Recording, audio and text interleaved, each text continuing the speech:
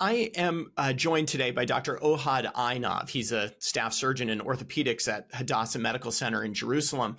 He's with me to talk about an absolutely incredible surgical case, um, something that uh, is is you know terrifying to uh, most non-orthopedic surgeons, and I imagine is fairly scary uh, for spine surgeons like him as well. A case of internal decapitation um, that's generated a, a, lot of news uh, really around the world because uh, this happened to uh, a young boy. And uh, but what we don't have is information really about how this worked from a medical perspective. So first of all, Dr. Einav, thank you for making time to speak with me today. Thank you for having me. So, can you tell us um, uh, about this boy, about Suleiman Hassan, and, and actually what happened to him before he, he came into your care? Hassan is a 12 years old uh, child who uh, was riding his uh, bicycles on the uh, West Bank, something like 40, 40 minutes away from here. And unfortunately, he was uh, involved in a um, motor vehicle accident. Um, where he suffered from uh, injury to his uh, abdomen and injury to the cervical spine, and he was transported into our service uh, with a helicopter by the scene of the accident. So, so you know, damage to the cervical spine might be something of an understatement here. He he had uh, you know what's what the technical term I guess is atlanto-occipital dislocation, colloquially often referred to as internal decapitation. Can you tell us what that means? It obviously sounds terrifying. Yes, yes, definitely. So it's primarily injury to the ligaments uh, between the occiput and uh, the upper cervical spine. Uh, often with or without uh, bony fracture. Uh, the atlanto-occipital joint is actually formed by superior uh, articular facet uh, of the atlas and the occipital condyle, uh, which are sublunar articular surface uh, with the capsule that actually articulates between the head and the neck and supported by various ligaments around it that stabilize the joint and actually actually uh, help us in um, the joint movements, which mainly is flexion, extension, and definitely some rotation in the lower levels. Right, and of course, this is a, a, a, joint, yeah, that has you know several degrees of freedom, which which means it needs a lot of support. Um, this type of injury, where you have uh, you know essentially severing of the of the ligaments, um, is it usually survivable, or or how dangerous is this? Yes, so the mortality rate is approximately between 50 to 60 percent, according to some of the papers uh, that actually uh, found now on the web, and between 50 to 60, it depends on the transportation. Uh, obviously, the injury. I'm sorry, the the primary impact, the injury, transportation later on, and um, um and then later on, obviously, the surgery and the surgical management. So, so, so tell us a bit about um, his status when he came to your medical center. Um, I assume he was in bad shape. Hassan arrived to our uh, medical center with Glasgow coma 15. He was fully conscious. Uh, he was hemodynamic stable, except a bad laceration on his uh, abdomen, which uh, uh, obviously was seen and uh, he had uh, Philadelphia collar on his neck. Um, he was transported by a chopper because the uh, paramedics decided that he, or suspected that he had neck injury, uh, cervical spine injury, and uh, at the uh, place of the incident, they decided to bring him into level one trauma center with a, a chopper. Um, over here, he was obviously monitored. Um, and obviously we treated him by the ATLS scheme. Um, and then later on, um, we uh, understood what his general uh, situation. He didn't have any motor deficit. He didn't have any uh, sensory uh, growth deficit, but he was a little bit confused regarding to whole, the whole situation, the whole uh, uh, event or accident. We decided as a team that it will be better to cool down the situation and control the situation uh, we decided not to operate on him on the spot. And then uh, basically we stabilized him. We made sure that he didn't have any internal organs uh, traumatic damage, and then later on we took him to the OR and performed the surgery. Um, I, that's a, that's amazing that he was, you know, had motor function intact considering the extent of his injury. Um, obviously, the, the the spinal cord, I I guess, was was spared um, somewhat uh, uh, during the injury. There must have been a moment when you realized that this kid who was conscious and could move all four extremities had a very severe neck injury. Was that in the the was that due to a CT scan or physical exam? And, and what were you, what was your feeling when you saw oh this person has atlanto-occipital dislocation? So um, obviously you have as, as, a, as a physician as a surgeon you have a gut feeling in regarding to the general examination of uh, the patient but I never rely on uh, gut feeling. So uh, so um, after I saw the CT I understood exactly what he had and I understood exactly what we need to do and the time frame. I, yeah, I, I, I can imagine um, uh, the, the the feeling about that. Now you've you've done these types of surgeries before, right? I mean, obviously, no one has done a lot of these because this isn't very common. But um, you say you knew what to do. Did you did you have a plan? Um, you know, where does your experience uh, come into play in a situation like this? So I uh, graduated in uh, the spine program of uh, Toronto University, where I did uh, my fellowships over there. Uh, I did fellowship in trauma of spine, and I did fellowship in complex spine surgery, and obviously degenerative as well. Um, so I actually knew what to do. I had a very, very good uh, teacher, and I had few cases similar, not the same, in actually all the population which I uh, treated in uh, my fellowship, and therefore I, I knew exactly what what needed to be done. So, so for those of us, um, you know, who aren't uh, who aren't surgeons, um, take us into the OR with you. This is obviously an incredibly delicate procedure. You are high, high, high up in the spinal cord, base of the brain. You know, the the slightest mistake can have absolutely devastating consequences. Um, what are the key elements of this procedure, and what are the what's the most terrifying thing? What can go wrong here? What is the what is the number one thing you have to look out for when you're uh, trying to fix an internal decapitation? So I think that the key element in these type of surgeries uh, of the cervical spine, regardless if we are talking about trauma or we are talking about like complex spine surgery, I think that the key element is planning. Uh, I never get into the OR without knowing what I'm going to do, without I have uh, a, a, few plans. So like plan A, plan B, plan C, if something uh, uh, fails. So definitely I know what's going to be in the next step. I always uh, think about the surgery a uh, few hours usually before, if I have time to prepare. Uh, so this is probably the first thing that is very, very important. The second thing that is very, very important is teamwork. All the team need to be coordinated. Everybody, everyone the OR need to do to do his job, to know what his job is. Uh, in these type of injuries, no time for rookies. Uh, if you are new at OR, please stand back. Let the most uh, uh, experienced people to do their job. And I'm talking about uh, um, surgeons, nurses, anesthesiologists, everyone.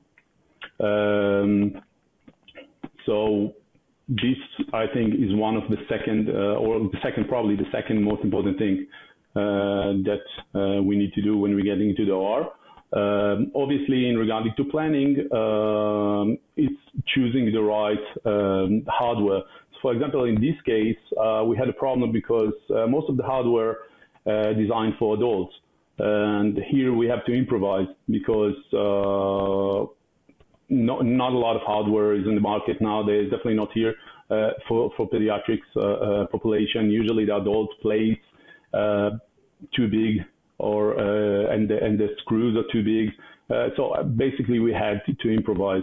Um, so tell us about that. What how, how, do you how do you improvise a, a, a spine spinal hardware for a twelve year old? So in this case, I uh, in this case I chose uh, to use one of the companies that actually work with us. I can show you uh, here. Sorry. So you can see in uh, this model, uh, which uh, in this area was the injury, for example, and this is the area that we actually worked on. And in order to perform the surgery, I had to uh, to use some plates and some uh, rods uh, of different company. So this company, for example, it's a NuVasive, so they have this small attachment to the skull, uh, which actually was very very helpful uh, in order to um, to fix his skull into the cervical spine um, instead of using long big plate that actually will sit in the base of the skull and will not be actually very, very good for him um, since the, the, most of the hardware, like I say, uh, are for adults and not for kids. And, and, and will that hardware preserve the, um, the motor function of the neck? I mean, will he be able to turn his head and, and you know, extend and flex so, the neck? So in this case, the, the, the injury actually lead to instability.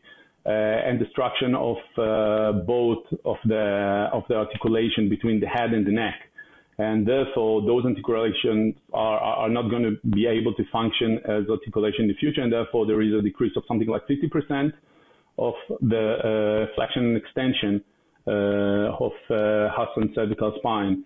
And therefore, I decided that in this case there is no no no chance to save uh, motor function, actually to save Hassan life, um, uh, but to perform fusion between the head and the neck. And therefore, I decided uh, that this will be probably the best procedure with the best survival rate. So in the future, he will have some diminished uh, flexion and extension and rotation as well. Tell us how long a surgery like this takes, or how long did his surgery take? Oh, to be honest, I don't remember. Um, I'm sorry. I'm, I'm, performing a lot of the cervical spine surgeries. Um, so I, I, don't remember exactly, but I can tell you that it took us time. It was very, very challenging to uh, coordinate between everyone. I think that the most um, problematic part of the surgery is probably um, to perform uh, what we call flip over, so to flip the patient. Uh, we anesthesiologist actually anesthetize the patient when he's uh, lying on his back, and then later on we need to uh, flip him down in order to operate the cervical spine. Uh, this maneuver actually can uh, lead to injury by itself, and injury in this level is obviously fatal injury. Um, so we took our time. Uh, first, Hassan got into the OR, and then obviously the anesthesiologist did a great job with the GlideScope. Uh, they intubated him, inserted the endotracheal tube, and then uh, later on uh, we neuromonitored him. So basically we connected Hassan um, uh, peripheral nerves into a computer. Uh, by that we monitored his um, uh, motor function and gently we flipped him over. After we flipped him over, we had a little bit change at the motor function, and therefore we had to do some uh, some uh, modification and position uh, Hassan in better way so we'll be able to preserve his motor function. And then later on, we actually went to start the procedure, which took us um, a few hours. I don't remember exactly. Yeah, yeah. Uh, no, I mean that just speaks to how delicate this is. You know, for everything from the the intubation, which obviously typically you're you're, you're manipulating the, the, the head for an intubation, to the repositioning. Um, uh, yeah, clearly needs a lot of teamwork. Um, so so tell us, you know, what happened after the operation? How did how did he do? How is he doing? So after the operation, uh, Hassan actually had. Um, a great recovery. He's doing well.